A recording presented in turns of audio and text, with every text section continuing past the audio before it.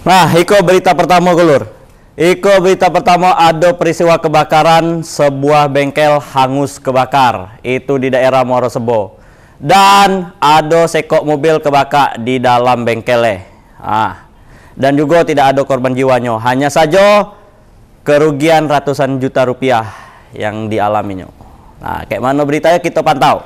Di pantauan Bang Jack.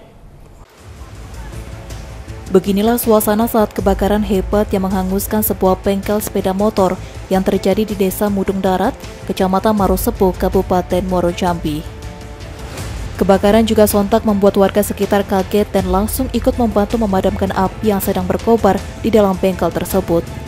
Namun akibat barang-barang yang ada di dalam bengkel tersebut merupakan barang yang mudah terbakar, warga pun kesulitan untuk memadamkan api. Menurut warga setempat, kebakaran terjadi saat pemilik bengkel sedang bekerja di bengkel tersebut. Namun secara tiba-tiba, api muncul dari dalam bengkel yang diduga dari konsleting listrik di dalam ruangan bengkel. Warga yang melihat kejadian ini pun sontak langsung berusaha ikut memadamkan api. Namun, usaha warga sia-sia karena api begitu cepat membesar. Akibat kebakaran ini, satu unit mobil yang ada di dalam bengkel tersebut meledak dan terbakar.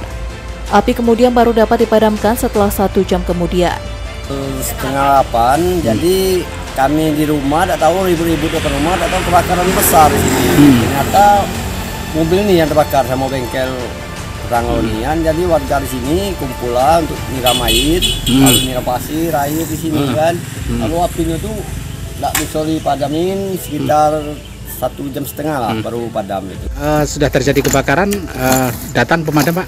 Ya untuk melakukan pendinginan karena hmm. api sudah berhasil dipadamkan oleh tetangga-tetangga masyarakat di darat.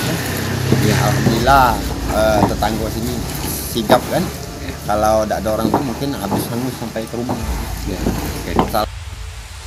Tak ada korban jiwa dalam peristiwa ini, namun kerugian ditaksir mencapai ratusan juta rupiah. Novia Putri Sanjaya, Cek TV, melaporkan.